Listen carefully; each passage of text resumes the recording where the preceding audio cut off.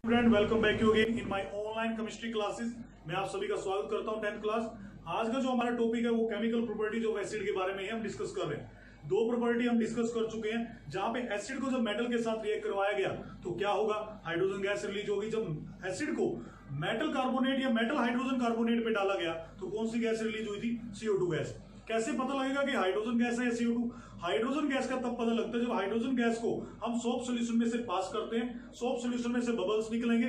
Bubbles के अंदर hydrogen gas होगी। जैसे ही उन बबल्स के पास हम कोई भी मैस्टिक या बर्निंग कैंडल लेके जाएँगे तो क्या होगा? पॉपअप साउंड या क्रैकलिंग साउंड आएगी। ओके अगर CO2 को चेक करना है तो CO2 को लाइव वाटर में से पास करिए। लाइव वाटर में से जैसे पास करेंगे मिल्की अपियरेंस आ जाएगी, ठीक है? और एक्सेस ऑफ़ CO2 जब पास करेंगे तो उसमें से कैसी अपियरेंस है? कलरलेस हो जाएगा। ओके ये चीज़ें मैं डिस्कस कर चुका हूँ। आज हम थर्ड प्रॉपर्टी डिस्कस कर रहे हैं। आज हम केमिकल प्रॉपर्टीज़ को खत्म करेंगे, ठीक है? रिएक्शन विद बेसिस ये भी आप फ़र्स्ट चैप्टर में पढ़ चुके हो। अगर आप बेस की बात करते हो, जब एसिड को बेस के साथ रिएक्ट करवाते हैं तो क्या बनता है? सोल्ट और सोल्ट कैसा होता है? न्यूट्रल तो इस रिएक्शन को हम क्या बोलते हैं? न्यूट्रलाइजेशन रिएक्शन क्या बोला जाता है? न्यूट्रलाइजेशन रिएक्शन ठीक है? तो एक एग्जांपल लेते हैं। हाइड्रोक्लोरिक एसिड लिया मैंने विद सोडियम हाइड्रोक्साइड ठीक है? तो क्या बना मेरे पास? सोल्ट सोल्ट क्या बना? सोडियम क्लोराइड इसको हम कॉमन सोल्ट भी बोलते हैं। क्या बोलते हैं? कॉमन नेम क्या इसका? कॉमन सोल्ट जो हमारे घरों में यूज़ होता है टेबल सोल्ट ओके नून जिसको आप कहते हो। साथ में क्या निकलेंगे? वाटर वेपर्स सल्फ्यूरिक एसिड लिया। NaOH साथ में मिलाया। क्या बना? Na2SO4 और वाटर बाहर निकल गया। सोडियम सल्फेट आप कहोगे सर हमें कैसे पता लगेगा रिएक्शन क्या होगी? जरा देखिए, कोई भी कंपाउंड है, दो आयंस में टूटता है पॉजिटिव और नेगेटिव किसमें? पॉजिटिव और नेगेटिव के अंदर। ऐसे ही यहाँ पे जो हाइड्रोक्लोरिक एसिड है, वो H पॉजिटिव और Cl नेगेटिव में टूटा।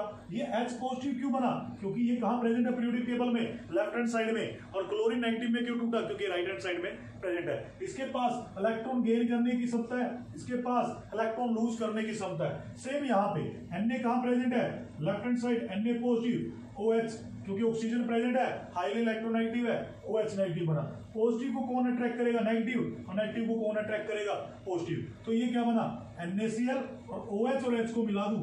दो H हो गए तो क्या बना? वाटर तो आप इस तरीके से रिएक्शन को पूरा कर सकते जरा एक एक्टिविटी से समझते हैं कि जब एसिड और बेस को हम मिलाते हैं, ठीक है सोल्ट कैसे बनता है? कैसे न्यूट्रलाइजेशन रिएक्शन होती है?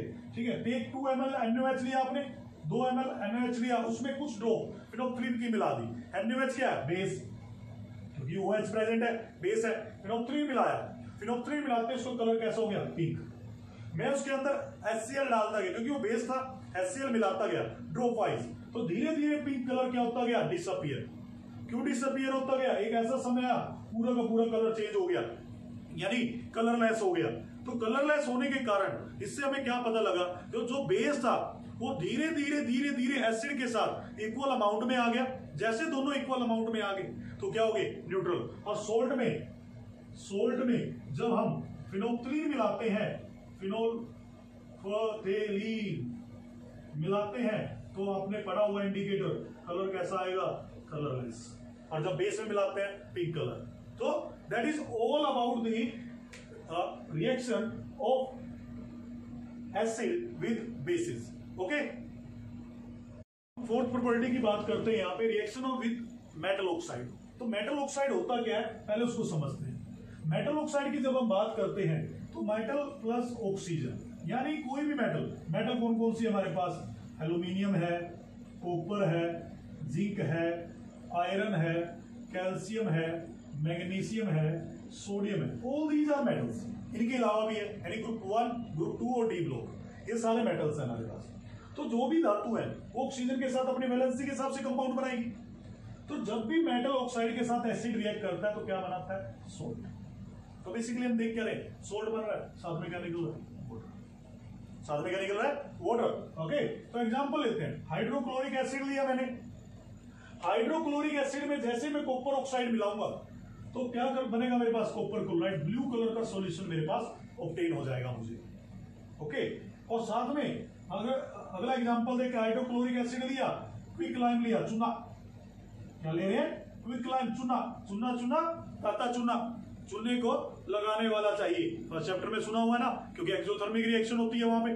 तो यहाँ पे जब एसिड मिलाते हैं मेटल ऑक्साइड में तो क्या बनता है? कैल्शियम क्लोराइड और साथ में क्या लीजिए वाटर वेपर सो जितनी भी प्रोबेबिलिटी आपको कराइए ध्यान से याद रखना है, समझना है, इनके रिएक्शन लिख के देख लेना पेपर में कुछ ना कुछ कोई क्वेश्चन एक्टिविटी बेस यहाँ से आ सकता है ओके बात करते हैं जरा एसिड और उनके यूजेस की, जो आपको जानना ज़रूरी है, कोई क्वेश्चन पूछ ले ऑब्जेक्टिव क्वेश्चन पूछा जा सकता है, कोई वैसे भी पूछा जा सकता है नॉलेज होनी चाहिए, ठीक है? तो एससीएल यानी हाइड्रोक्लोरिक एसिड का यूज़ क्या है?